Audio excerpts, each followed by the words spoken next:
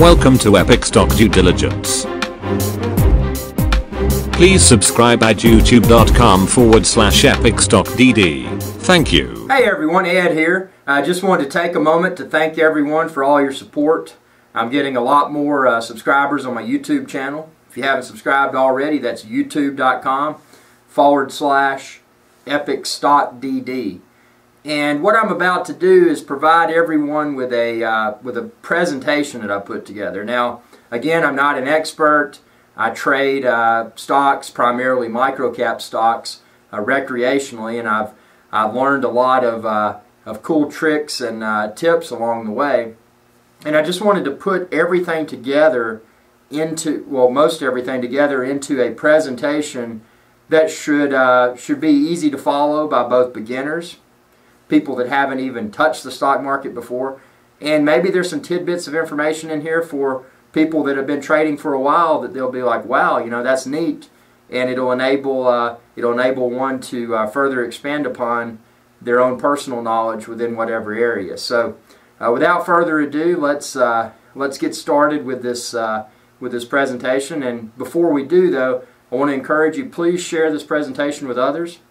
I want to get uh, as many views as I can. That's that's why I put this content together. I'm a, I guess you would say I'm just kind of a stock market nerd.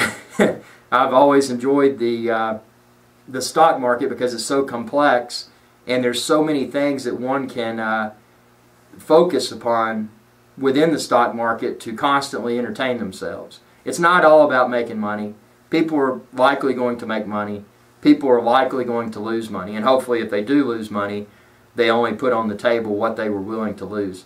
My philosophy, as always, with trading stocks is 100% of everything I put in to the stock market, I expect to lose 100%. So if I do get a stock that goes no bid and I lose 100%, oh well. I expected it.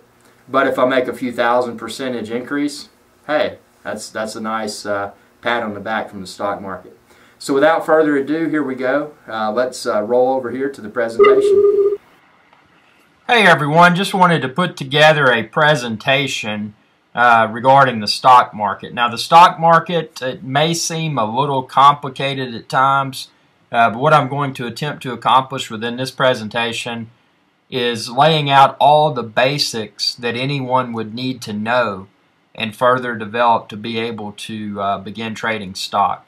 Now I've been trading stock since the uh, early days of internet technologies had quite a bit of experience in the in the space. I'm not a professional. I do it, of course, for entertainment purposes only. So, have had a lot of success. Have had some failures along the way, but I mean that's part of it. So, without further ado, let's get started. Uh, I'd like to start out with my disclaimer. All contents within are for entertainment purposes only. None of the comments within should be considered a recommendation to buy or sell security.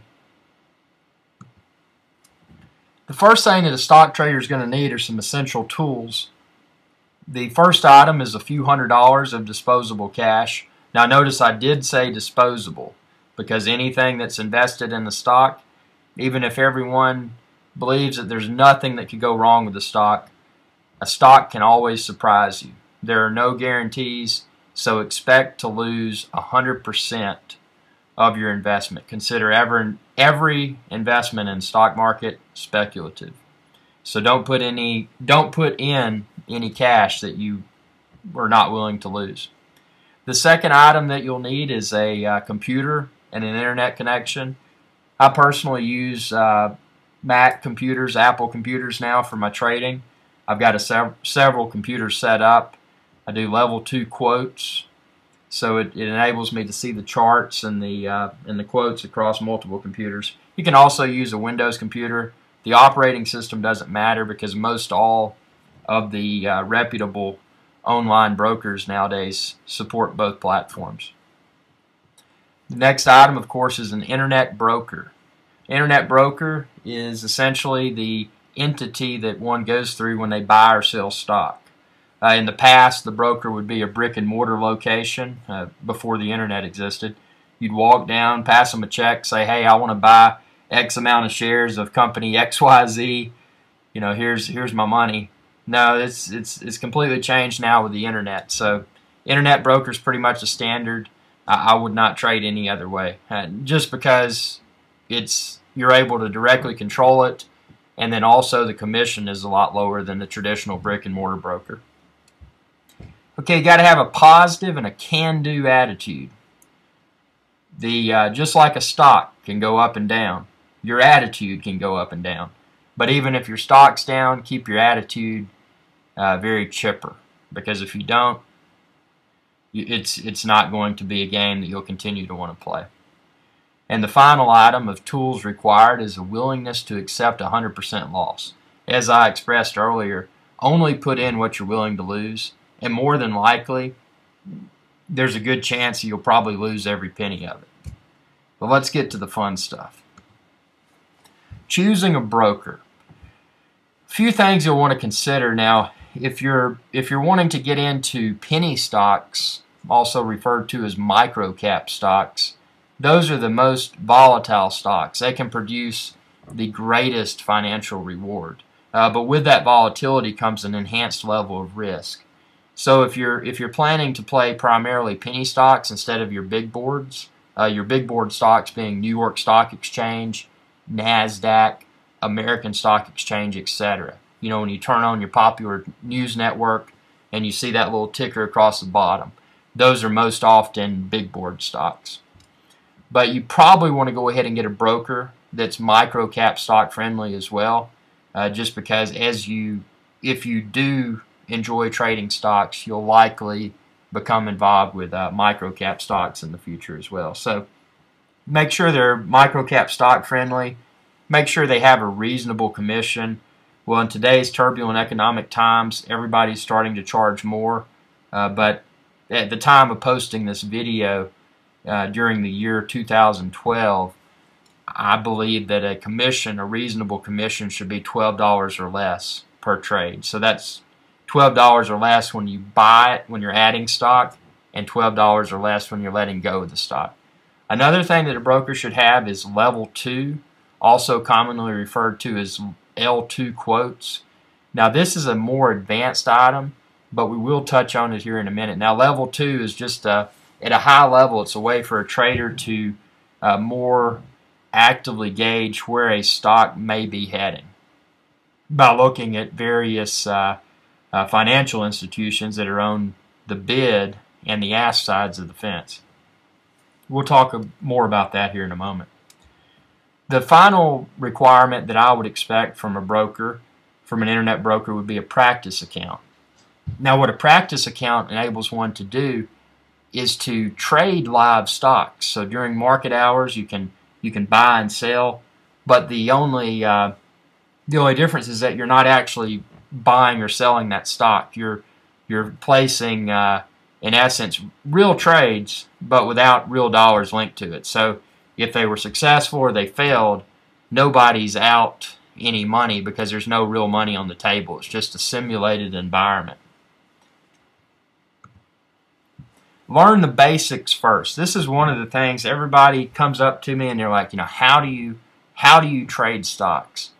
Well, it's not one of those things like how do you ride a bicycle? It's a lot more complex, but it's not overly complex. Once you get the hang of it, super simple and something that that most people may continue to enjoy and improve upon. But the most basic of basic stock market things that everybody must know is there's two sides of the fence. There's the ask. The ask is what one would pay if they're purchasing a new stock or maybe they've already got a stock and they're adding more shares of that same stock. That would be the ask, the ASK. And then the bid if you already own stock and you're letting go of it, you would be selling that stock at the bid. So here's here's a good example. Say you bought a stock, it was a dollar a share. And as soon as you buy it, you want to sell it because you realized for whatever reason you made a mistake or you don't want it. That that stock is priced at $1 on the ask because that's what you paid to buy it. But the bid is 80 cents. So immediately, for this fictitious example, since there is a, uh, a significant spread between bid and ask, you would immediately incur a loss if you attempted to sell because the bid is lower than the ask. So that's just a quick example there. It's uh, just a basic uh, a basic item that everyone must know. when you turn on your popular financial news network and you see that uh, ticker at the bottom, that price down there is most often the ask price. Now with big board stocks, the spread between ask and bid is typically not that noticeable. But when you're dealing with microcap stocks, penny stocks, it's not uncommon to see a uh, to see a stock where a, where an ask price would be maybe even 50% higher than the bid price.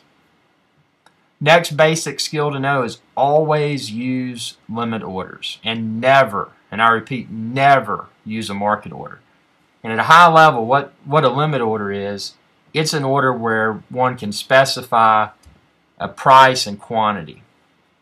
Whereas with market order, one can only specify quantity. And as rapidly as most stocks move, if someone, for example here, say that they, uh, they had $100 to invest, and they said, okay, I want to buy 100 shares of fictitious company XYZ.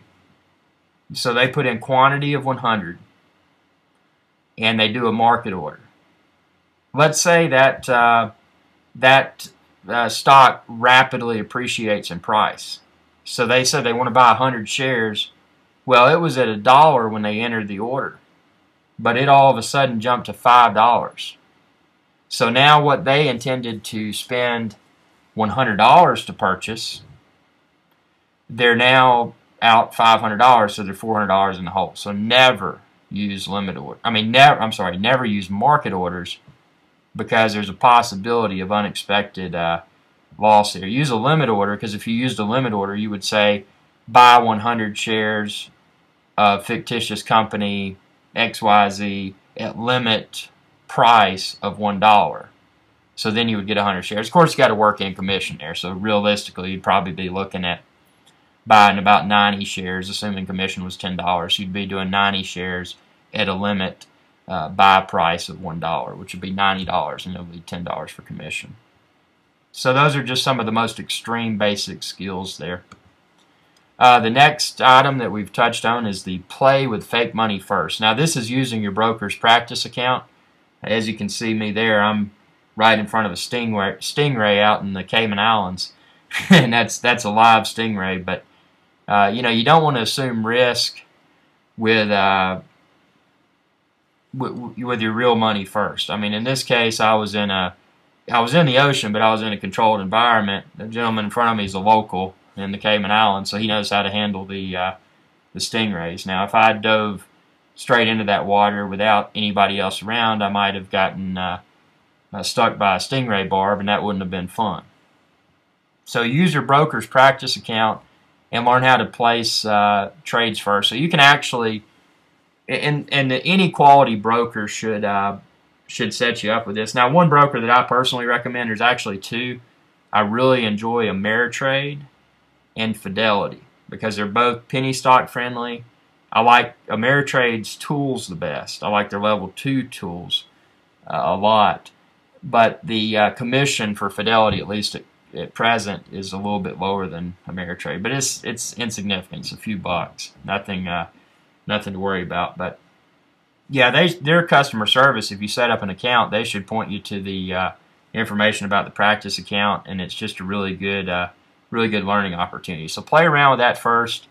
You know, watch the news, watch whatever uh, source for easily obtainable information you may use. You know, Jim Cramer or or uh, turn on CNBC or Bloomberg or something like that, and just randomly pick some companies that pe- that they're touting and you know purchase them with your practice account. See if they go up and down, up or down, and see uh, what if anything you would have made had it been real money out of pocket. So just a way to build your confidence there before you start putting uh, real money into the uh, stock market. And the next item before you actually put real money into the stock market is to master the due diligence process. So this is your own research. You know, do your own due diligence. Determine risk. Or is is fictitious company XYZ is it worth the risk? Or is it just so far out there? Now keep in mind sometimes with greater re with with the most risk comes the most reward, but also with the most risk, especially if you're starting out, you may you may pick a play and and lose it all. So don't put all of your uh, you know don't put all of your eggs in one basket when you're starting out. But uh, some things that I do, I use forums. Uh, one of my favorite forums is Investors Hub, commonly referred to as iHub among stock traders. Now that's just investorshub.com.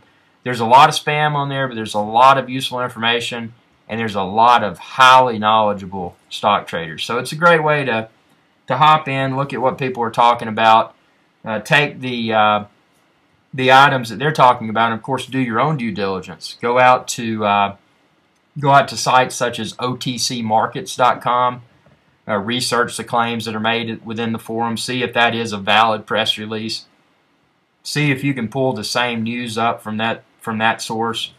Check other sites as well. I mean, for the for the big board stocks, you can find a lot of information on uh, sites such as finance.yahoo.com, and then also within your within your internet broker itself, there's news in there. You can do a lot of uh, research on your own. You can look at stock charts. Stockcharts.com is a great place for stock charts. You can look at the charts that are included within your uh, within your internet broker. So, you know, do your own research. Never never blindly jump into anything without doing your own research first. Because if you do, you won't be able to blame yourself. And if you jump in on it after performing your own due diligence, if it's a good pick, if it's a poor pick, at least you know that you made it and you're the only person responsible for it. So this is where it gets fun. You're taking the first live plunge. So after uh, developing your personal level of confidence with placing uh, limit orders to buy stock and to sell stock, and by the way, it's all always a sell whether you're buying or selling, but that's that's a very technical thing um, that that you will, if you further research the stock market, in particular level two quotes, uh, you'll understand that there's always somebody selling.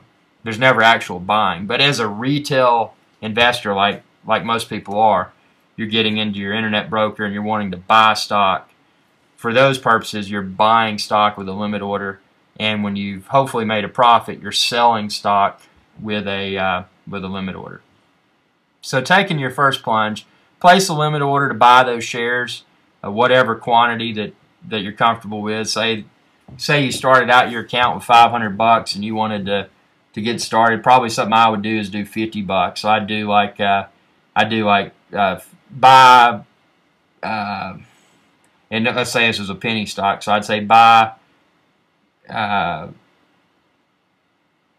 you know, a thousand shares of uh, of company uh, of comp fictitious company XYZ at a limit price of uh, of tri uh, triple zero dot zero zero zero two, and you could get a ton of that for for uh, for fit, for under fifty bucks. But you know, don't put all your eggs in one basket. But then again, don't start out with so many stocks that you can't keep a close eye on all of them. Uh, typically, what I would recommend, at least I know when I started out, I only had one or two stocks. That way I could stay abreast of all the current press releases from the company. And, keep in mind, I started out with big board stocks, did not start out with penny stocks. But you might want to start out with a big board stock. So take that 50 bucks, maybe buy uh, with with $50, maybe buy because you're going to have about probably about ten dollar commission or whatever. It varies among brokers, but you could you would have forty dollars you could sink into, let's say a dollar a share stock.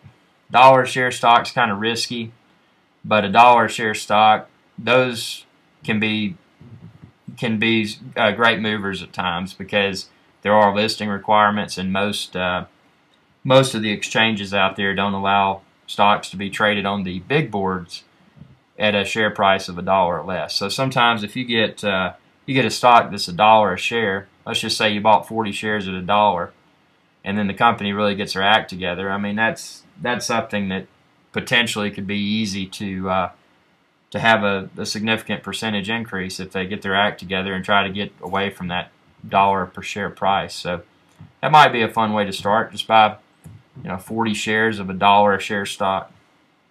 And just see what happens. And one thing I recommend after you actually acquire those shares, so after the order is actually filled and you've got those 40 shares within your account, you might want to go ahead and put in a limit sell order at a specified price. So say you bought them at a dollar.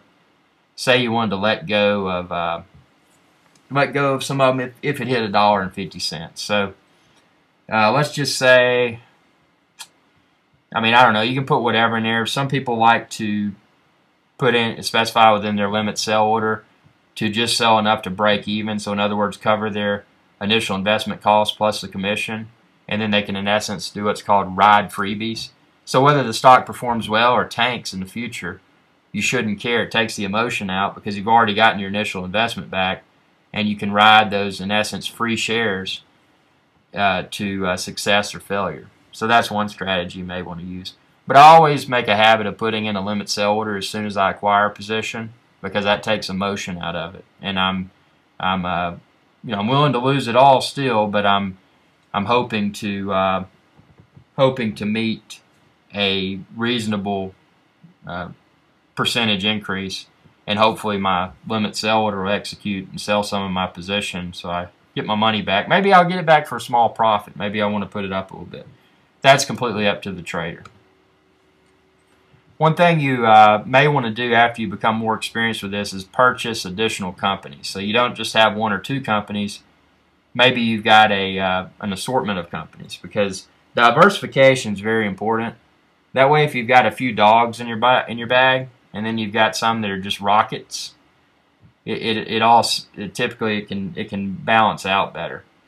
But you don't want to get so many that you can't track them all, as I as I stated earlier. So you you if you uh, one thing that I do, I, I deal with some stocks that I know are going to be highly volatile, that I assume are going to be highly volatile, rather, and I don't try to get too many of those. But if there's some that are somewhat stable, and keep in mind, no stock is 100% stable and, and, able to be predicted. But uh, there are some stocks that are less uh, less likely to jump around than others, and you'll kind of identify that as as you become more experienced with the game. But if you have a lot of stocks that seem to be more stable, those you probably don't have to keep as close of an eye on. And the likelihood of all of those moving rapidly in one direction or the other is slimmer. So if you did have one of those more stable stocks start to move, it likely wouldn't be the whole pot of them. So you wouldn't have to be, let's say you had 20 stocks total. You had like two high risk stocks and then 18 what you consider to be stable stocks. If only one of those what you consider to be stable stocks started to move rapidly upwards or downwards, you would only be monitoring three uh, rapidly moving stocks because you had those two high risk stocks and then one of those 18 that just surprised you and started moving. So you don't have to. You you know it's it's a situation where you can have a lot of stock, but you don't have to uh, devote a lot of time to keeping a constant eye on all of them.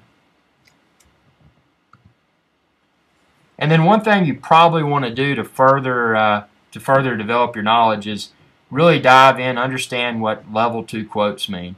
And I'll quickly summarize. Level two quotes, when you're looking at level two, you're looking at the individual MPIDs, the market makers. Now, a market maker is a financial institution, and every time you buy stock or sell stock, you're dealing with a market maker. So, uh, when you're when you're adding that stock, you're you're dealing with a market maker that's on the ask side of the fence. And when you're selling stock that you already own, you're dealing with a market maker that's on the bid side of the fence.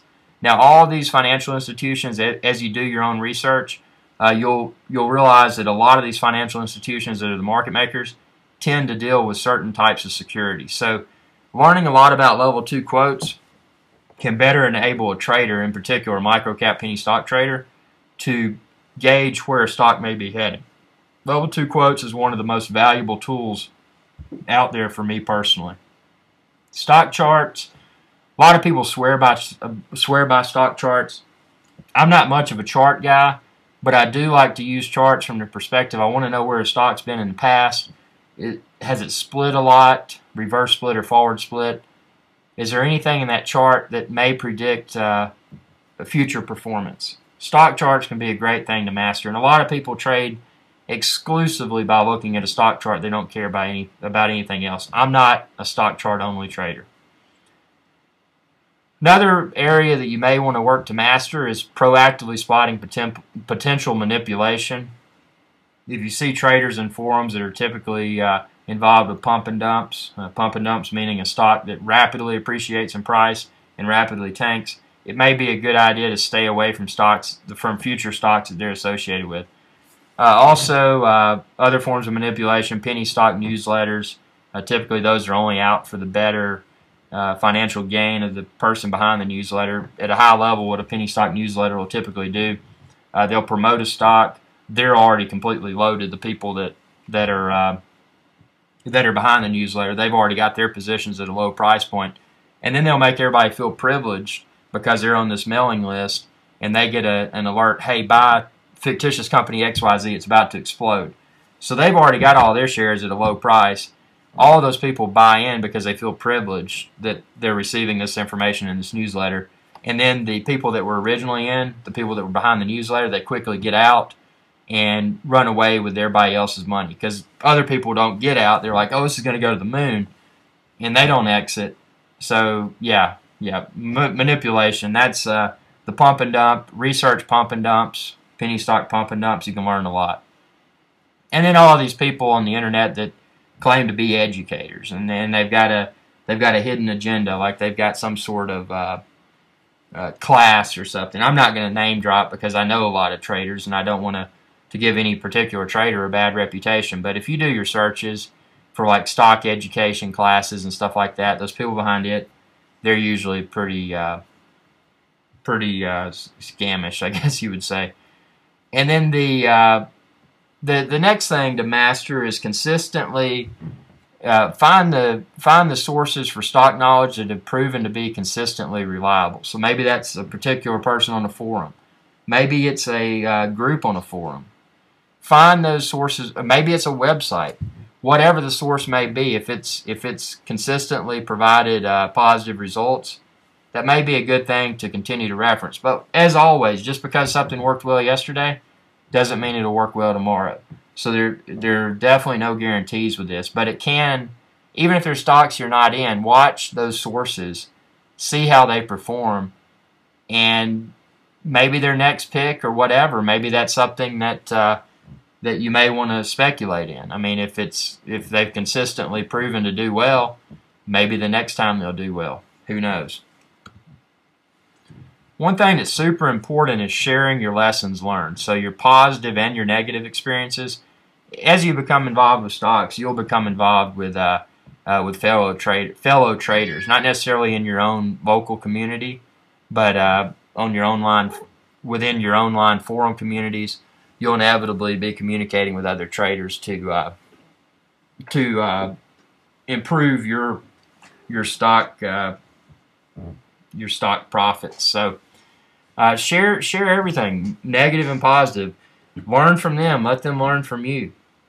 This is uh, and stocks are definitely something you should never become cocky. Uh, there are definitely no guarantees on Wall Streets, on Wall Streets, on Wall Street rather. And and again, as I pointed out earlier, strat, a trading strategy that worked yesterday may never work again. And hey, it may be the best strategy ever a year from now. Who knows? All sorts of conditions come into play uh, that affect the market. And finally, always take profits along the way. If you're taking the time to do your due diligence, you're taking the time to uh, hopefully make some good money from the stock market, get away. You know, have put those put those limit orders in place. Step away from it. Don't get yourself so hammered down uh, with too many different stocks and definitely never put in money that you couldn't afford to lose 100% of because that's where people get in a mess. Only do what you can do and comfortably management manage it rather. So in other words, you could step away and not have anything to worry about because everything that's in there is money that you intended to lose. But when you're away, you know, you go to the islands or wherever. Right there, I'm at. I just got out of the spa at uh, Peter Island in the British Virgin Islands but uh, wherever you may be, you, you, you need to just step away from it for at least a week or so. At least a week or so once a year, because otherwise it'll it'll drive most people crazy. But I appreciate you watching this video and uh, encourage you to share this video with others. And thanks for tuning in, and y'all have a good day.